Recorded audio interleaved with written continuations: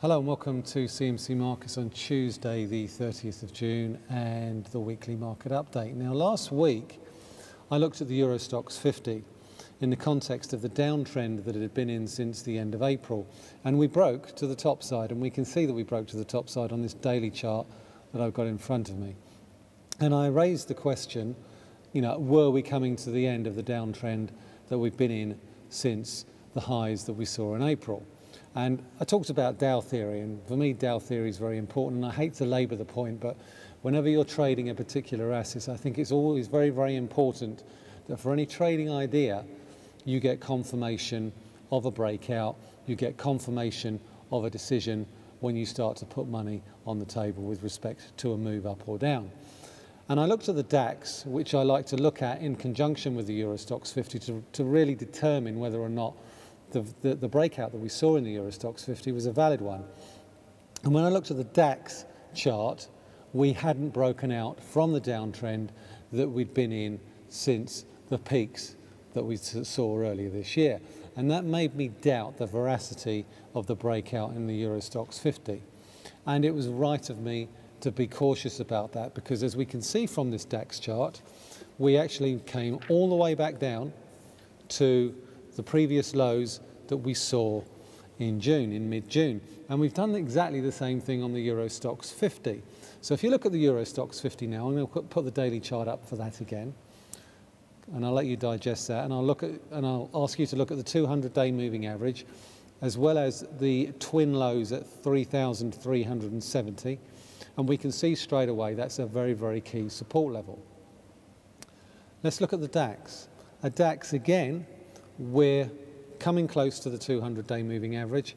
We're also very close to a key support level at 10,790.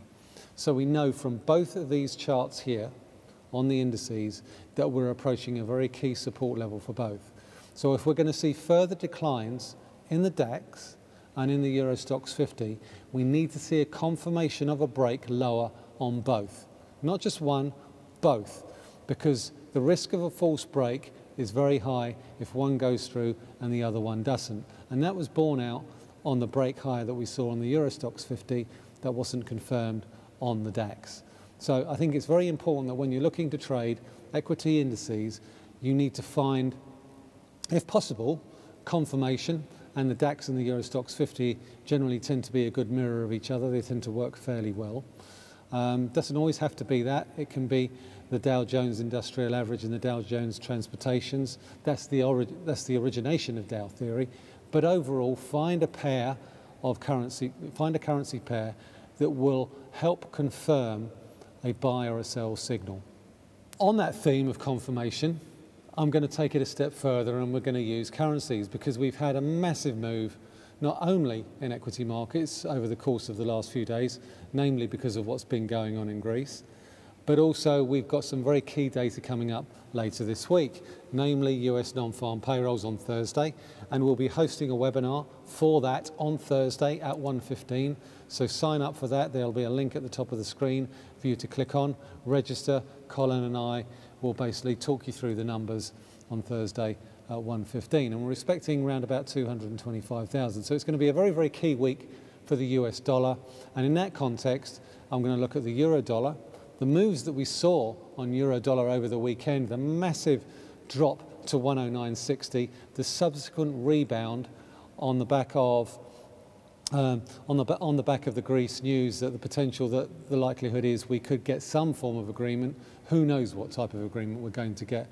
Ultimately, we need to trace the price, we need to trade the price action.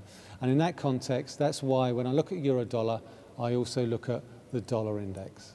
For quite some time now, I've expressed some skepticism about the fact that the euro dollar can go any lower.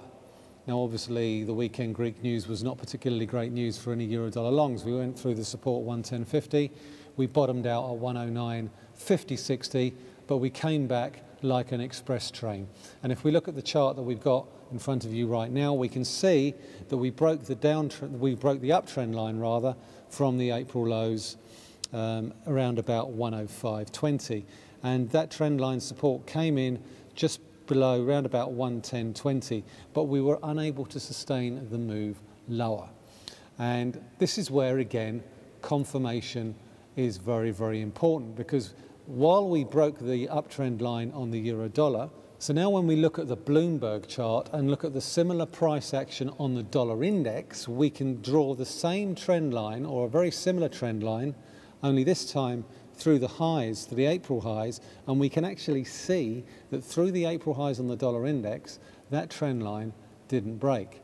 So on the euro dollar, the, down, the, the uptrend line, the line from the lows, was broken, but on the dollar index, it wasn't. And in the context of euro dollar, that is important because euro dollar, 55% of the dollar index is comprised of euro dollar. So if you're looking for a breakout on euro dollar, you want to see a, a similar breakout on the dollar index. So what does that mean going forward for euro dollar? Well, ultimately, with non-farm payrolls coming up, 110.50 is once again going to be a key support level on euro dollar.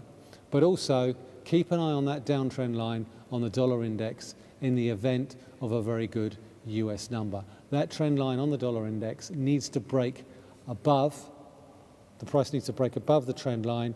You need to see a subsequent break below the euro dollar trend line to suggest that we're going to get further US dollar strength.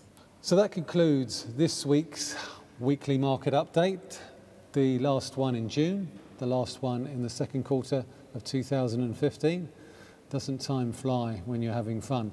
Um, so until Thursday, where Colin and I will be hosting a non-farm payrolls webinar, and until Q3 next week, this is Michael Hewson talking to you from CMC Markets.